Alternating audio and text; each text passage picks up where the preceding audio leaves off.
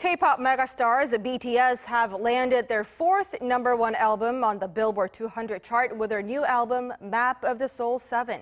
According to Billboard on Sunday, the album topped the chart with 422,000 equivalent album units earned in the U.S. in the week ending February 27th, of which 347,000 are in album sales.